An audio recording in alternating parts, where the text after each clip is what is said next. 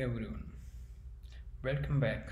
So in our previous video we discussed about equals method objects equals method with the strings integers and how they implement that thing. So we found out we found something.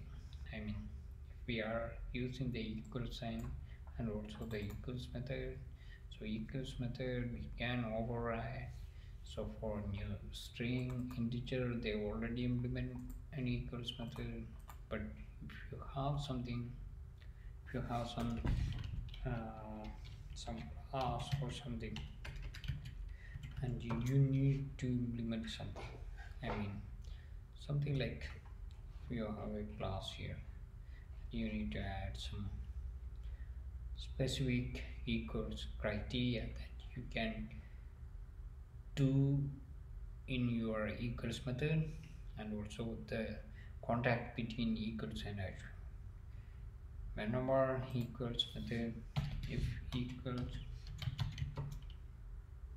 if equals equals then hash code also need to have same value okay?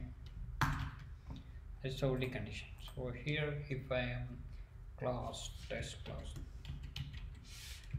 or something I just an inner class here. So here what I am going to do is I have a variable here. Private private string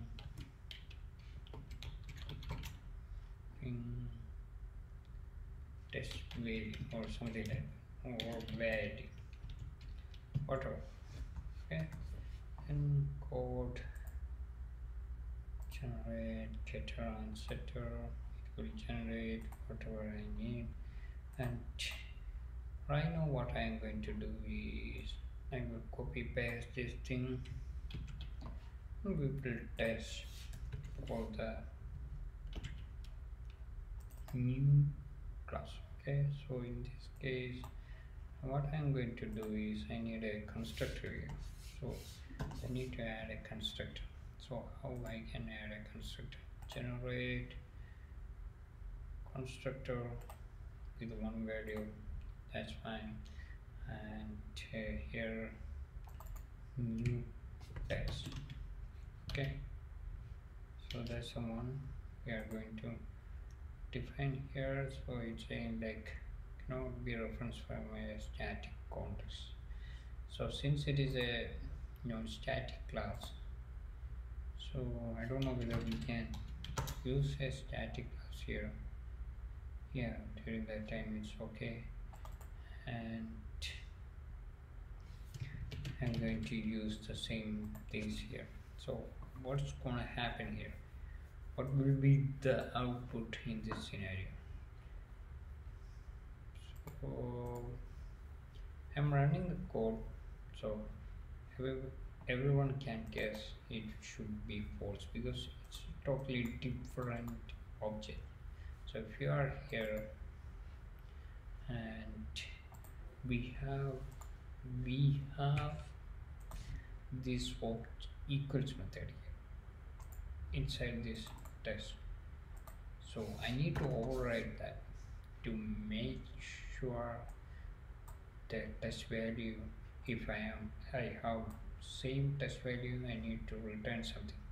So what we are going to do is we are going to override our object method. So here I have equals method here. So what I am going to do is I need to provide my specific implementation here. So based on what criteria I will uh, what criteria we need to achieve to make sure the same value in test test value same test value will return true. So that's our aim. We need to provide an implementation for equals method so how we can do that? That's the thing. So since it is a boolean it is very easy. If I have okay. If I have okay if my object that's this one is equal to is equal to the object that I, I am providing. Then then it should be returned true okay? So if so the second condition probably something different. I mean if the object is null or get class get class means the class of current object not equal to object dot get class. So the class is different.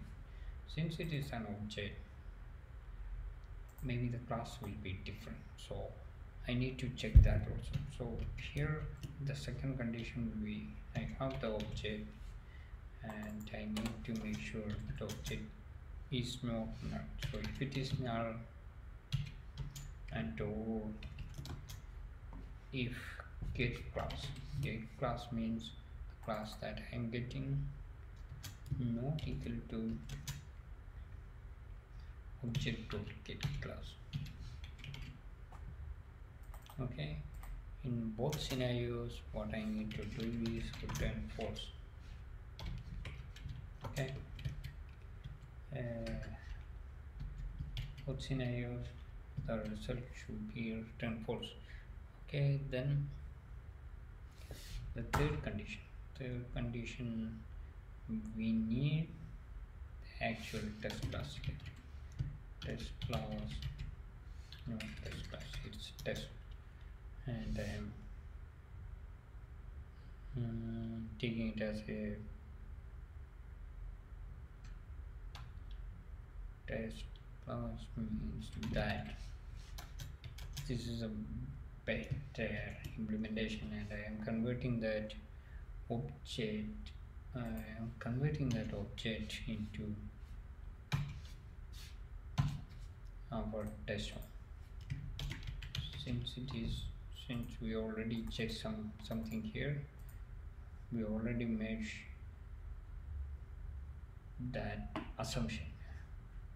This this object is a type of this class so we are just assigning this here and right now we are implementing our logic here.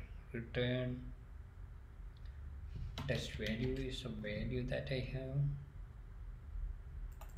and then equals string equals. So that dot test value and that's dot test value so we implement we already implement the things here. So right now we can test. Probably this also will fail because we didn't override. We didn't override. Okay. It's not failed actually.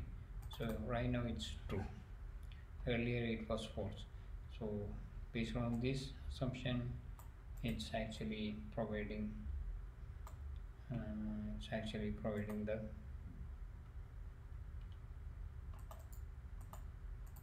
actual equals for this scenario. So if we are not overriding this one it will provide you the false. And if you are overriding the test value equals condition here it will provide you the actual result so it's very easy in this scenario. And also in the next video we will we will discuss about the comparator and other thing other things. So just override the equals. And also you need to make sure the hash code provided in the same way. Okay thank you for watching. Have a nice day